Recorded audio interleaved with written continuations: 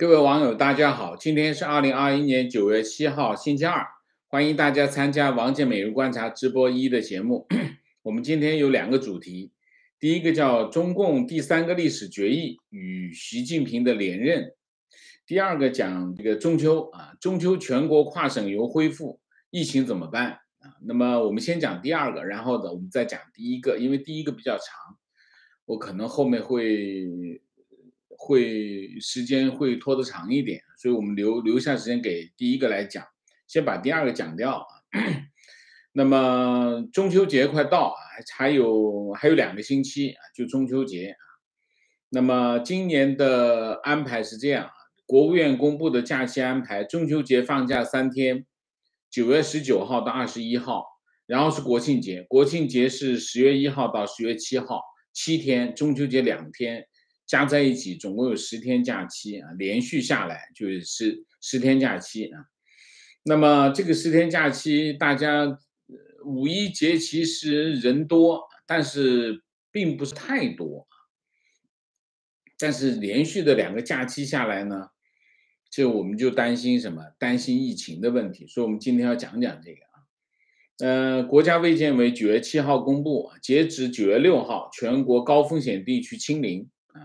所有的高风险全部拿下，然后中风险、中度风险地区下降到三个，然后呢，九号呢新增三三十六个确诊病例，全部是输入型，就看上去呢好像这个疫情放缓，然后呢各个省开始恢复这个旅游团啊，旅游团还有就是恢复那种这个。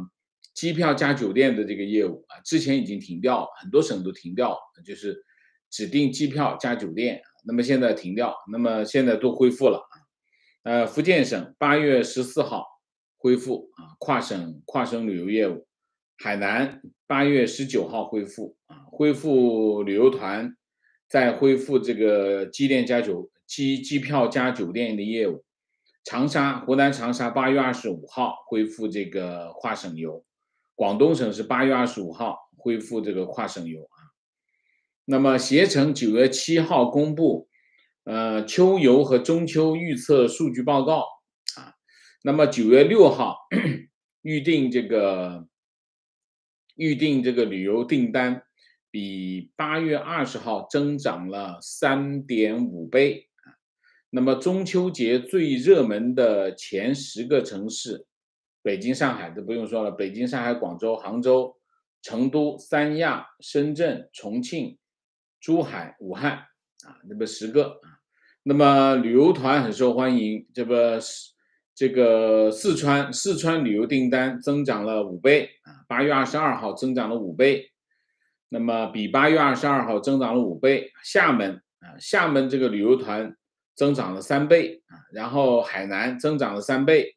长沙增长了一点二二四倍，啊，那么，呃，九月二十号北京开幕的这个环球影城啊，带动了北京的这个热度啊，那么，呃，预定北京中秋节度假产品的这个人次比八月二十号增长增加了八倍啊，那么这个 这个环球。环球度假村抬高了这个机票的价格，嗯，大概是这样。另外一个就去哪儿？去哪儿的数据是这样：中秋节以北京为目的地的机票搜索量超过了上周同期的十一倍，然后环球度假村周边酒店搜索热度增比上一周增长了十倍啊啊！其他大型主题游乐场。游乐场成为这个中秋节的旅游热点，一个是广州长隆啊，广州长隆是一直是很排很前的，然后还有一个就是上海上海迪士尼、故宫啊，上海海沧海洋公园，这个我不知道啊，然后就是音乐节啊，九月十月份的音乐节都上来，一个是草莓音乐节啊，西安站十月十月二号两天啊。然后还有一个就是飞猪，飞猪九月七号宣布啊，这个延后啊，因为疫情延期的这个大漠赫兹音乐节，九月十九号到九月二十号在这个沙坡头举行啊。然后这个呃，国家旅游局啊，国家旅游局统计啊，今年五一黄金周是二点三亿人外出旅游啊。那么呃，五一节之后，其实你可以看一下啊，今年上半年中国的疫情基本上是控制住的啊，基本上是控制住的。那么没有大规模爆发，真正的大规模爆发全是下半年啊。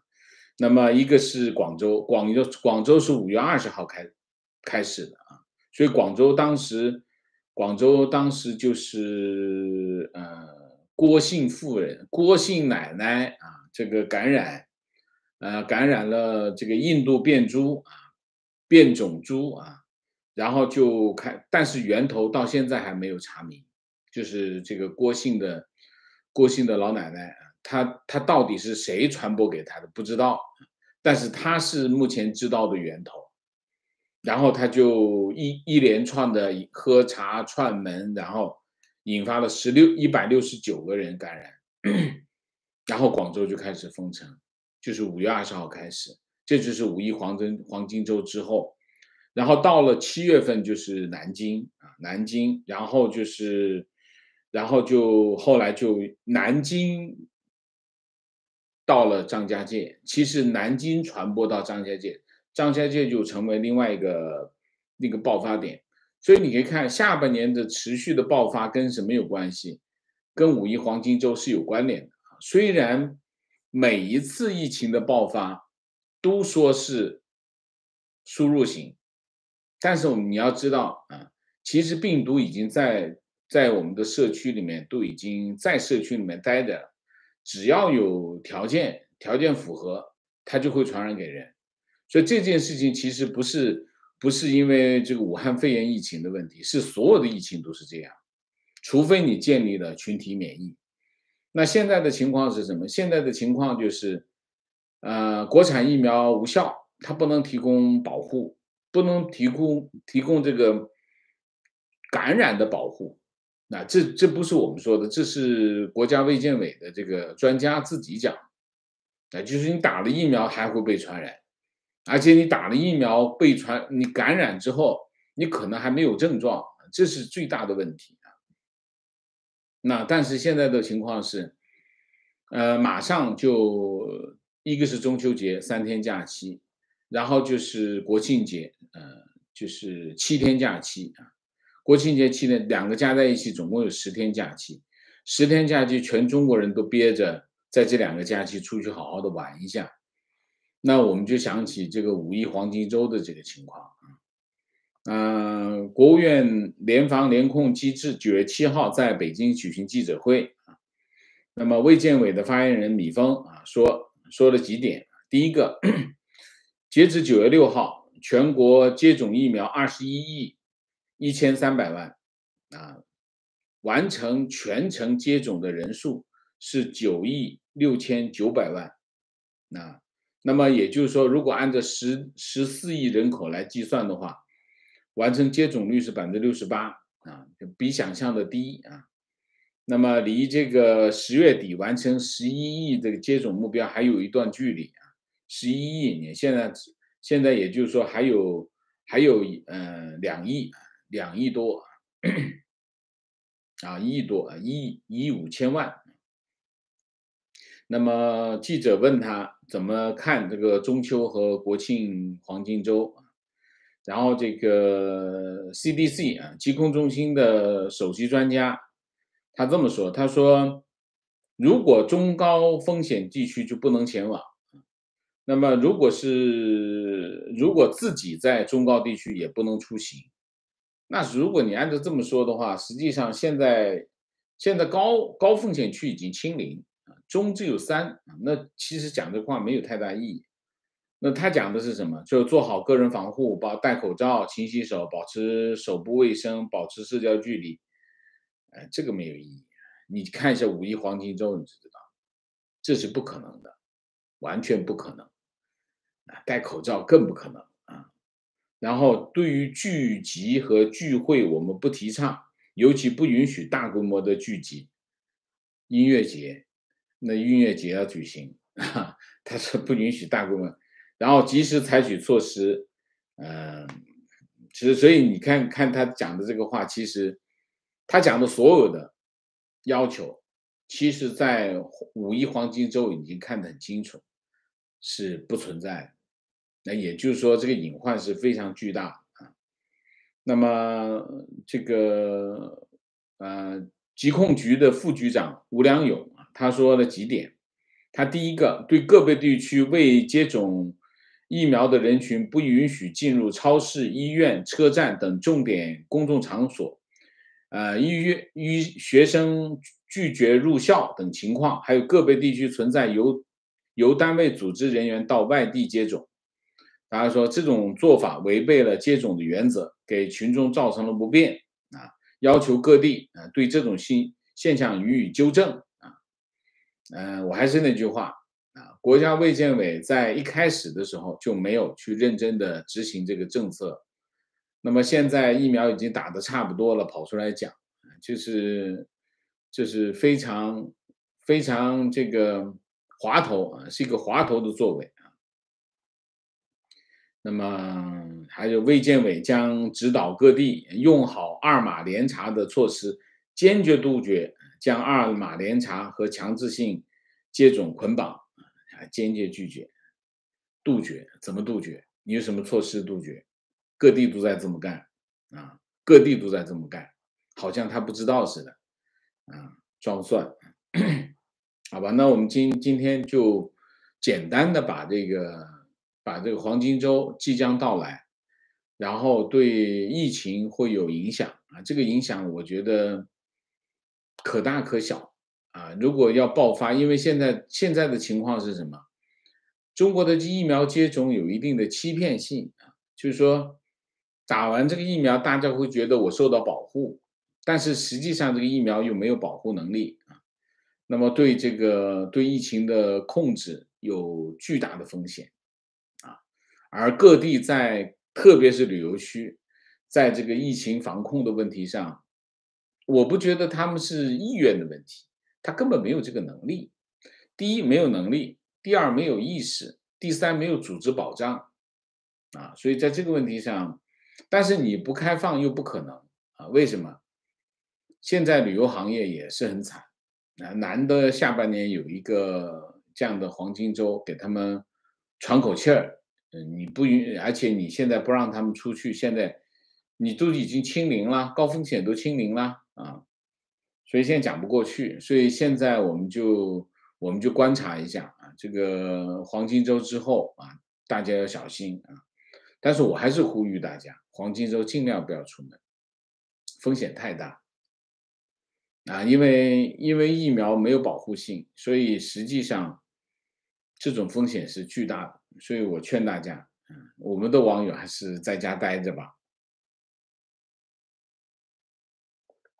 你要知道，五一黄金周二点三亿不算多，但是，但是这个这次这这个国庆黄金周那就不是几亿的问题啊，所以大家小心啊。我们讲讲第二个，第二个今天的重点啊，重点讲这个第三个历史决议文件啊，第三个历史决议文件这个事情是怎么来的呢？那我们先由头开始讲。中共中央政治局，嗯，八月三十一号举行了每个月的例会。中央政治局每个月都会开一个例会，通常是每个月的最后一天啊。那么八月三十一号开的是八月份的例会，这个例会呢决定了十一月份在北京召开十九届六中全会啊。那么通常的六中全会，每一届的六中全会。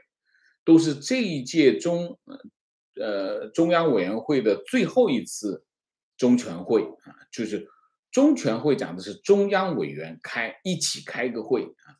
中央委员呢，基本上是中共的一个最重要的决策机构啊，就是中央委员会。中央委所有的所有的决议，通常都是在中央委员会做出决定。中央委员会做出最重要的决定，中全会我们都叫中全会，中央委员会的全体会议啊。那么通常的六中全会就会制定下一届全国代表大会的人事安排啊，所以六中全会通常比较重要。那么这一次的这个政治局会议就决定说，今年十一月份开什么呢？开六中全会啊。那么而且这次这个政治局会议决定了，这次六中全会有两个内容。第一个内容，政治局向中央委员会报告工作，这是第一个内容。第二个内容，重点研究、全面总结中共百年奋斗的重大成就和历史经验问题啊。就两个问题啊，那么这个后面这个问题就可圈可点。然后这个这件事情过结束之后，最近就海外有一些媒体就跑出来，突然就跑出来说，说这次六中全会跟以往有不同，说这次六中全会会形成中共的第三个历史决议啊，或者叫历史第第三个历史文件。啊，这些海外媒体啊，就最近就有几个海外媒体跑出来讲这个事情。这几个海外媒体有个共性、共同特征，支持习近平啊，支持习近平。海外大外宣其实有一点、有点特点啊，有点特点就是有些呢是笼统性的，就是支持中国啊，这是这是买通的一种大外宣，还有一些。还有一些是自干五性质的大外宣，就是主动向组织靠拢，主靠谁靠拢呢？靠主要是靠往这个习近平那儿靠啊，就支持习近平。所以这个调子是支持习近平的这些这些红媒跑出来讲啊。那么其中啊，其中有一个就是多维了啊，多维他是这么说啊，他说。呃，接近北京高层、熟知中国政治的有关人士指出，这是一个重大政治信号，然后意味着自毛泽东、邓小平以来，第三个历史决议呼之欲出啊，好，这这好像是这个这个马上就要发生一样。然后以毛泽东、邓小平、习近平三分呃三分断代的概念写写入中共历史啊，就是。三个历史伟人啊，就是这个意思啊。那么我们先讲讲这个两个之前不是这第三个历史决议吗？那前面两个历史决议是什么？前面两个第一个历史决议是一九四五年，也是六中全六届六届七中全会通过了一个关于若干历史问题的决议啊。这个背景是什么呢？背景就是延安整风啊。大家知道延安整风很重要。呃，对谁很重要？对毛泽东很重要。那么，这延安整风是一九四二年秋天开始啊。那么，延毛泽东发动延安整风啊，整风其实是什么？整风就是清洗啊，清洗就是开批斗会、洗澡，就是自自我检查，然后别人揭他揭发问题啊，那就非常残酷啊。那么到了第二年，四三年的三月啊，政局扩大会议，毛泽东就党的主席啊，那么他就开始登上了中共的最高领导的的位置，是三月四三年的三月啊，政治局扩大会议啊，然后就开始啊，毛泽东开始就要啊，就说我们要检检讨二八年以来中共党史啊。这建党当时，尤其是针对国际派啊，谁是国际派？当然是王明啊，王明、周恩来都是国际派啊，包括陈毅啊、彭德怀都属于国际派啊。认错啊，要认错，要承认错误啊，等等。到了四四年的五月二十一号，扩大的六届七中全会啊，靠召开第一次全体会议，毛泽东代表中央政治局做工作报告，然后提出提出。处理党的历史问题的六条原则和指导性意见，啊，当一个中共的领导，他确立了他的位置之后，他就要开始重写历史，啊，这就是就是想当皇帝的人都差不多是这么干的。然后呢，就成立了一个什么呢？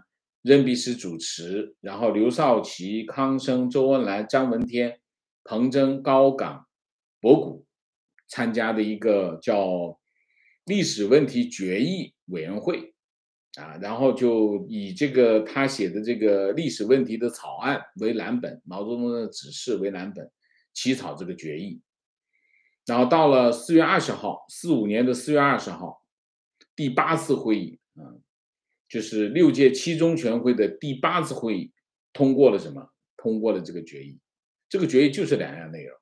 第一样内容清算，清算从王明开始啊，从这个陈独秀，陈独秀是定义是右倾机会主义，然后瞿秋白、李立三又左倾盲动主义，王明的教条主义。然后就清算，清算他前面不喜欢的人，然后第二就是确立毛泽东在党内的地位，然后确立毛泽东思想作为指导思想。那毛泽东思想是在这件这次会议上确立起来，所以毛泽东在中共党内的地位源于什么？源于四五年的四五年的这个决议，所以很重要，这个决议非常重要，对中共党史来说很重要。这是第一个历史决议，啊，这第一个历史决议决定了毛泽东的历史地位，决定了毛泽东思想的指导思想的地位，啊，这第一个。第二个，第二个历史决议是一九八一年 十一届六中全会啊通过了关于建国以来党的若干历史问题的决议啊。那么这个决议呢，其实讲的就是两点，第一点，中共建政一直到。一九八一年，嗯，包括反右，包括大跃进，包括文革这一系列这个历史事件进行总结。那么还有一个就是评价毛泽东。那么这个决议谁主持的？邓小平主持的。啊，邓小平主持这个决议，邓小平毫不犹豫否定了文革，啊，彻底否定了文革，彻底否定啊，就是。文革的定义是一场由由领导者错误发动，被反革命集团利用，给党、国家和各族人民带来严重灾难的内乱。文革的定义啊，对毛泽东的评价他就很小心啊，说毛泽东终究是一个伟大的无产阶级革命家所犯的错误。就其一生而言，毛泽东对中国革命的功绩远远大于他的过失，他的功功绩是第一位，错误是第二位。邓小平对他本人的评价就是“七三开”，功劳七，错误三啊。为什么邓小平彻底否定文革，但是又给毛泽东“七三开”呢？啊，当然是因为很简单，道理很简单。如果否定了毛，中共就没有合法性，他自己的地位也没有合法性。所以，不管毛泽东有多。犯了什么样的问题，都要保护他，保住他的位置，这就是邓小平当时给毛泽东呃这个评价的原因。这是第一个，就是评价中共建政到当时到一九八一年若干个历史事件的这个定性，然后是评价毛泽东，然后第二个结束以阶级斗争为纲的政治路线。然后确立了以经济建设为中心的改革开放的路线啊，所以中国有今天的成果，源自于这个文件，这是第二个历史文件啊。那为什么要搞第三个历史文件呢？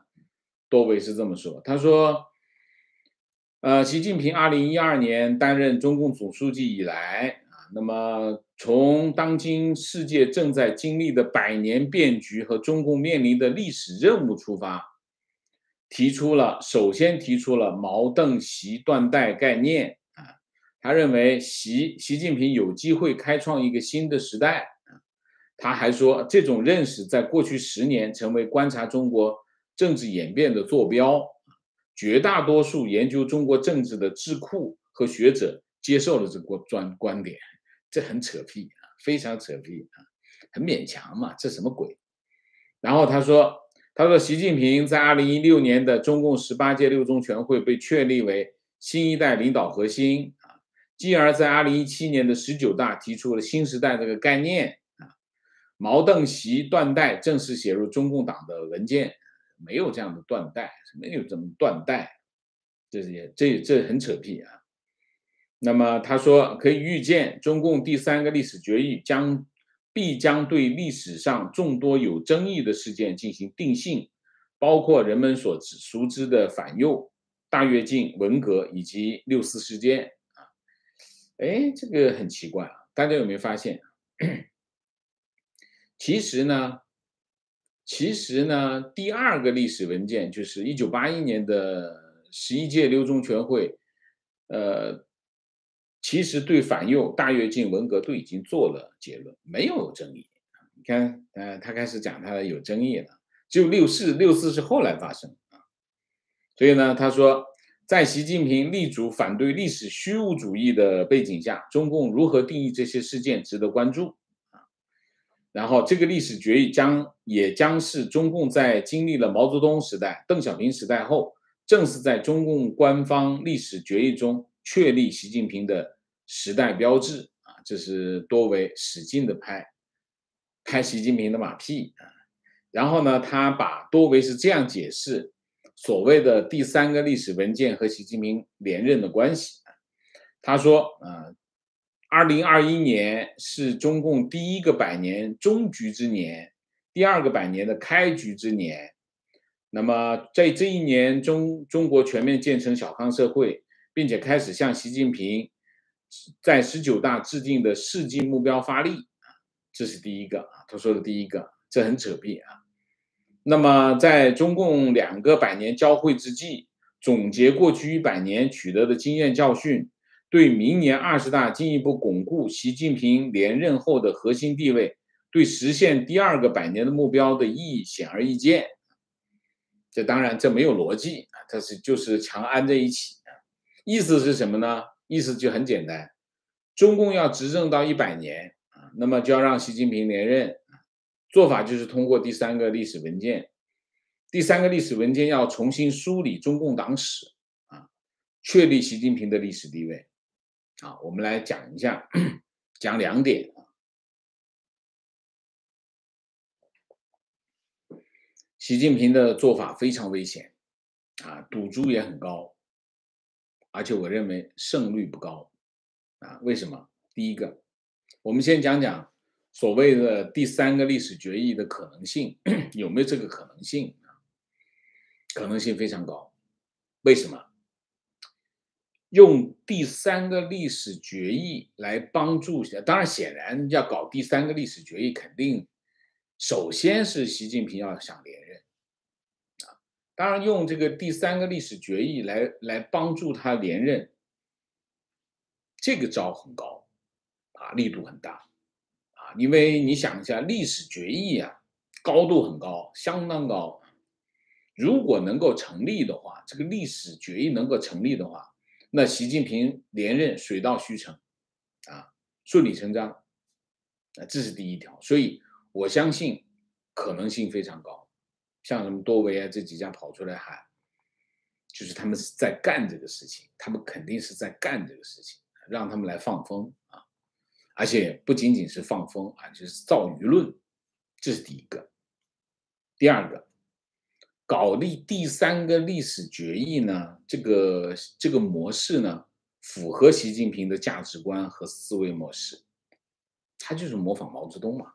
毛泽东搞这个，你看毛泽东搞这个延安整风，延安整风一上来，刮得大家东倒西歪，每个人都人人自危的时候，我们来谈谈历史吧，把历史重新写一遍，写一遍，按照我想要的历史写一遍，把我变成光辉照耀啊、光芒四射，重构历史，重构历史是从毛泽东开始，就是他一掌权，他就重构历史。重新书写历史，重新书写历史，确保他的政治地位的合法性、必然性，啊，他就是这这种做法。习近平是模仿他，那模仿他，当然这里面是个，这是第一点，所以我判断这个习近平应该在干这个事情，啊，这个事情帮助他连任的力度很大，这第一。第二个，这绝对是超高风险的操作。啊那么多为这些习派马仔在阐述整个过程当中，他们都没有讲一样东西。历史决议是什么？你想一下，历史决议嘛，那你肯定要把历史事件要讲一遍嘛。那你想想看，邓小平的第二个历史历史决议，呃，讲到一九八一年，讲到一九八一年，讲到一九八一年，就是说文革之前全部讲了一遍，对吧？那剩下的就是改革开放以后的事情。那实际上呢，你剩下的事情没有争议啊。改革开放之后的事情没有争议啊，有争议都是改革开放之前的事情。而这个有争议的事情，在八一年的这个十一届六中全会已经做出历史决议。那习近平想干嘛？那习近平想干嘛？习近平想干一件事情，他要重构历史，中共党史。就这就有点像什么？就有点像那个毛泽东。你前面你说的事都不算，包括邓小平的说的这个十一届六中全会的历史决议不算，我重新要重构，怎么重构法呢？那我们要看一下习近平的中共的习近平版的中共党史是怎么样的。那么我们就看看今年，今年其实在二月二十号。中共就推动了一个学习党史的运动，二月二十号开召开这个动员大会，习近平就这一场党史学习运动一直持续到要持续到今年的十月份到年底，啊，就是先是党内学，党内学半年，学到八月份刚刚结束，然后九月份开始，九十月份开始往后推，学往往往往全国推啊。延伸到全国的啊，内容重点是什么？党史是党史，学党史学什么？当然就是学一本书啊。这本书叫什么？这本书叫《中国共产党简史》，二零二一年版啊。这本书是由中共中央宣传部、中共中央由中宣部组织啊，中共党史和文献研究院。编写，配合党史学习教材，就是指定就是拿来做教材。然后今年二月份由人民出版社和中共党史出版社联合出版。这本书是什么？这本书就是习近平版的历史、历史、历史决议的蓝本。他怎么说的啊？我们看一下，他怎么去描述中共建政到。这个文革结束这段时间的历史，这段时间的历史实际上是什么？实际上就是十一届六中全会通过的邓小平版的历史决议，这是第二个历史决议。他这么概括，他说：“新中国成立到文化大革命结束的二十七年。”哦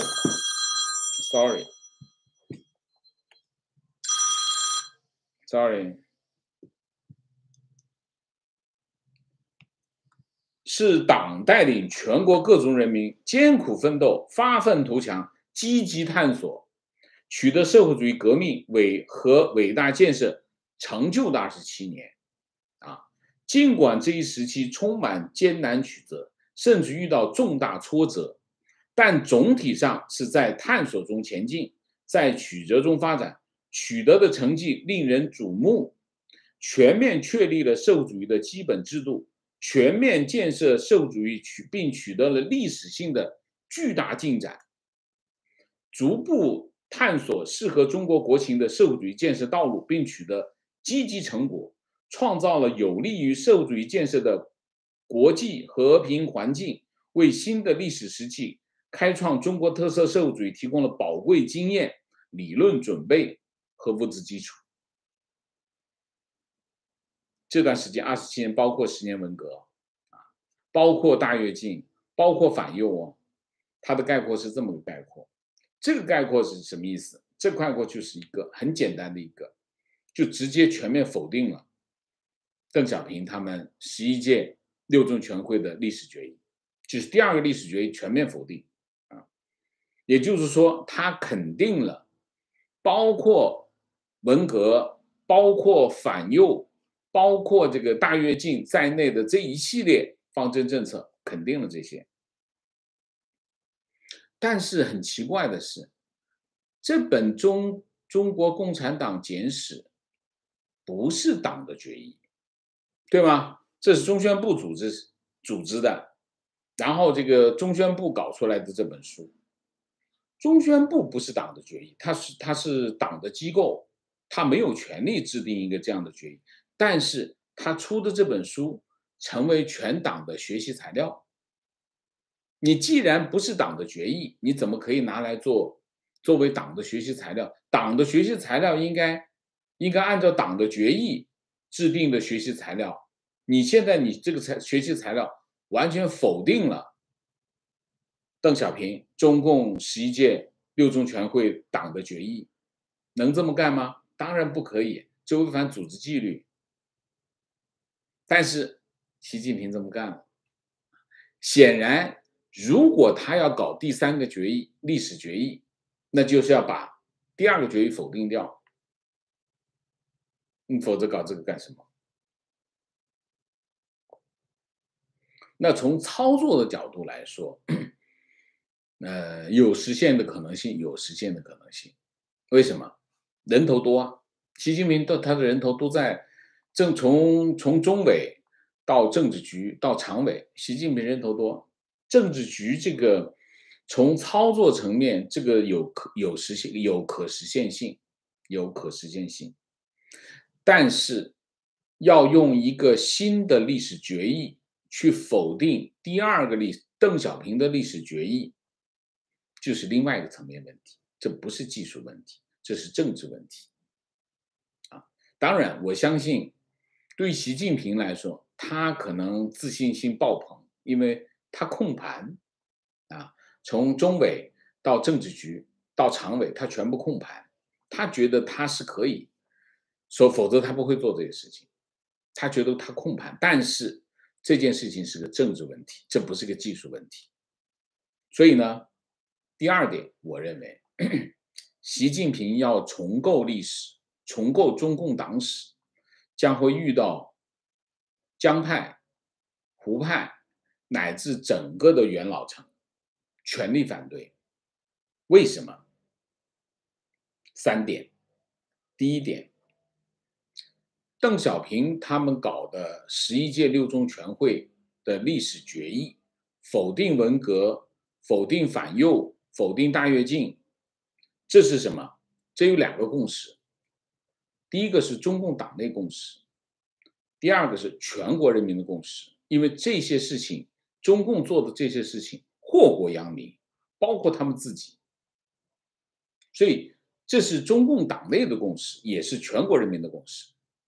这是而且这个符合历史事实，就是这些事情祸国殃民，这是第一条。第二条，用第一个新的历史决议否定第二个历史决历史决议，等于什么呢？你等于把。从江泽民开始，其实不止仅是江泽民开始，就是从这个胡耀邦、赵紫阳时代开始，改革开放到现在，所有的成绩、历史地位全部都否定掉。那么胡跟赵的这已经成为历史，那已经没有任何影响力啊，你可以忽略它。但是，呃，江江泽民跟胡锦涛他们还在，他们整个派系都还在。还有中共元老也还在，大家现在现在还活着的中共元老都是支持邓小平的这个改革开放的政策。你否定第二个历史文件，你就等于否定什么？你也否定了改革开放的政策。这是第二个，所以他为什么会有问题的？第二，我觉得这个这个在政治上是不成立的，啊，在政治上是不成立的，他会遇到。中共党内的巨大的阻力，这第二条。第三条，这就是历史倒车，开历史倒车。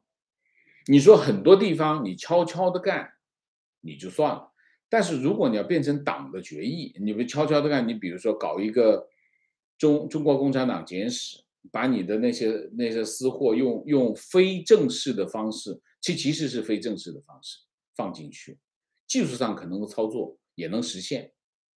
但是你要变成党的决议，这就是什么？这就是历史倒车。那是有历史性、历史地位的。这个历史倒车太惊悚，那肯定这等于是把中共的基本盘给翻掉。中中共的基本盘是什么？中共的基本盘，你就是要邓小平讲的很清楚：你不改革开放，你不改善人民生活，你就死路一条。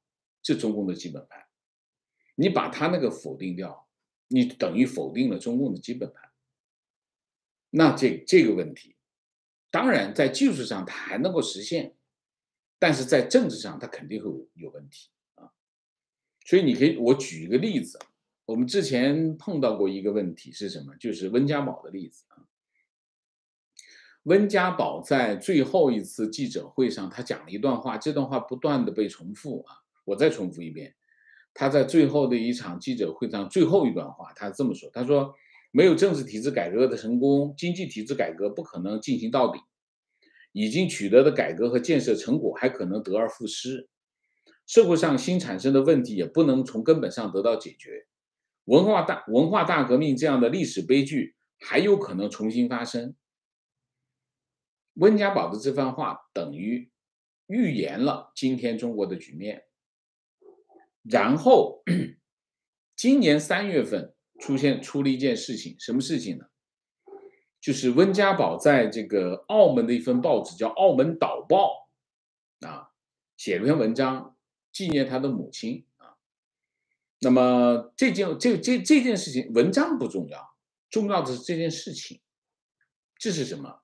这是不满意，非常不满意，对现实不满意啊。这你可以看到温家宝对文革的态度。对习的态度，然后最近发生两件事。第一件事情，八月三十号，路透社报道说，这个银保监会在调查中国平安。中国平安，中国平安做过两件事，一个是就是他对华夏幸福的投资。华夏幸福是房地产公司啊，那家房地产企业，他原来是借钱给他，结果他要破产，那怎么办？债转股变成对他的投资。结果他没办法，他破产，华夏幸福可能会破产，于是他就做了坏账准备。坏账准备一出来，他等于盈利就大幅下跌。然后这个今年二月份，这个银保监会还要求这个平安停止出售和地地产有关的这个理财产品。这是第一件事，就是中国平安。中国平安背后是谁？温家宝啊，就是银保监会动中国平安了。中国平安有以前有没人敢动，没人敢动。那现在银保监会动它，动它说明什么？那动，当然是动给温家宝看。这是第一件事。第二件事，这个星期有一本新书要出版，这本新书叫《红色轮盘》。这个从这个 FT 啊，就叫什么？FT 叫这个。《金融时报》《金融时报》到《华尔街日报》都在报道这本书。这本书讲的是作者是谁？作者叫沈栋。沈栋的前妻叫段伟红。段伟红跟谁呢？跟温家温家宝的太太关系非常密切。然后段伟红是二零一七年的九月五号失踪。什么叫失踪？就是给抓起来就抓起来。抓起来之前，孙政才被抓。孙春才一个月之一个半月之前被抓，然后一个半月之后，这个这个这个段美红被抓。段美红跟温家宝的太太啊张贝张贝丽关系很好，张贝丽是以这个翡翠行业出名啊。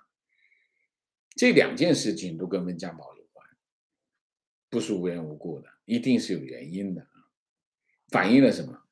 反映了在在六中全会之前。一系列激烈的权力斗争，这是第二点。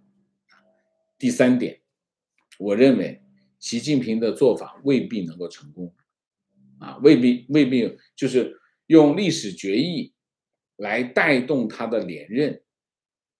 可能他光谈连任的问题可能还好一点，啊，虽然中共元老虽不满意，破坏了这个。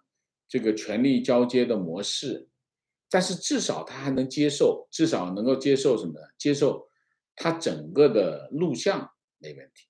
但是习近平要重新写历史决议这件事情，我觉得他在中国党的中共党内未必过得去。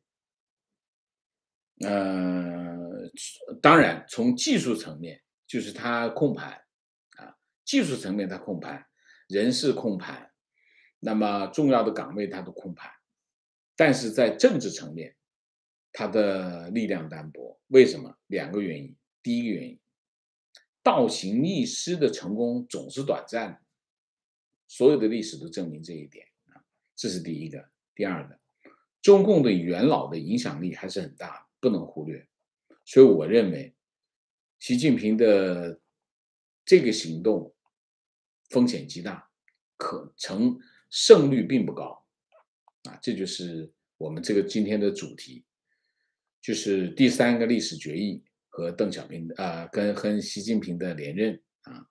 好，我们现在主题就讲到这里，我们下面进入互动。进入互动之前，温馨提示，请大家点赞，请新来的网友订阅，请大家加入我们的会员，支持我们做更好的节目。明谢 S Y U，谢谢明，谢谢。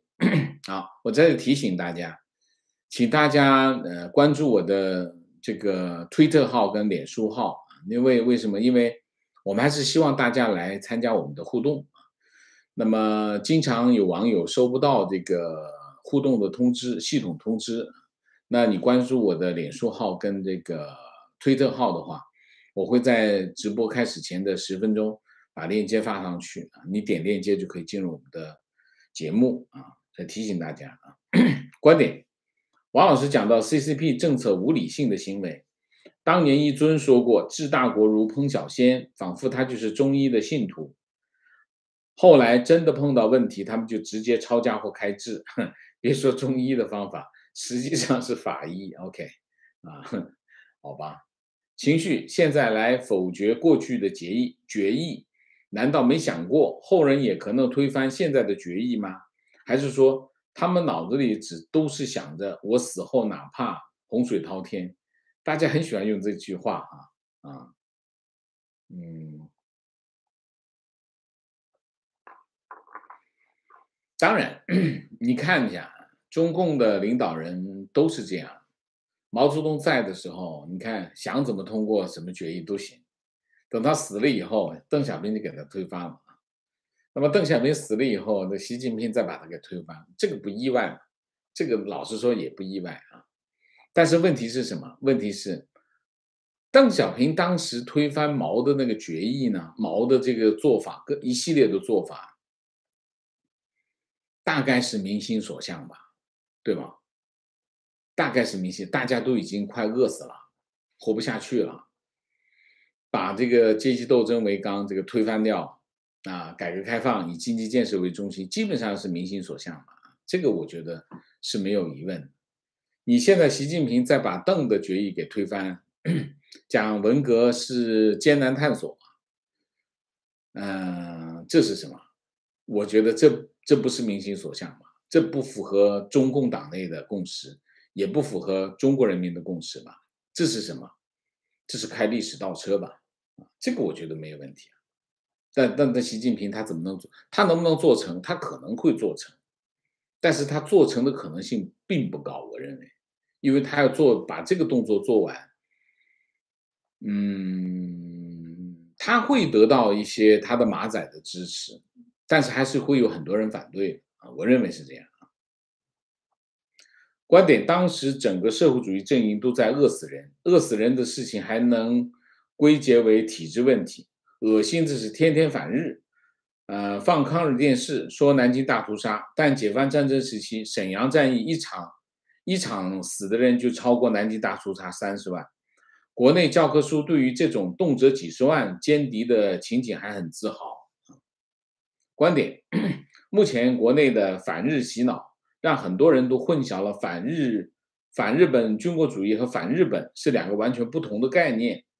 今日的日本跟当年发动侵略的日本军国主义已经很不同。日本在二战后还是有很多文明和进步值得多国学习。单单日本在教育方面的投入就值得中国望尘莫及和急起直追。提问：请问王老师，为习为什么热衷给文革翻案？他父亲被文革整得那么惨，真是令人费解。嗯，他为什么愿意跟喜欢跟他翻案？嗯，我觉得有一系列的有一系列的精神层面的问题啊，当然政治层面的问题，当然毛毛在文革当中，他的地位无可没有人可以挑战，对吗？他也搞场文革，他也可以这样，有这种想法吗？我觉得也有这样的想法啊，但是他父亲整的那么惨，如果如果从这个角度来说。他应该反对，反对所有毛的干干的事情，但是他没有，啊，所以他是从什么？他是从政治利益的角度出发，而不是从他的，呃，从他的这种父亲被整啊，他在文革也很惨，他在文革没过好，至少下放嘛，对不对？那原来公子哥在城市里不挺好？所以他还是从政治利益的出发看文革。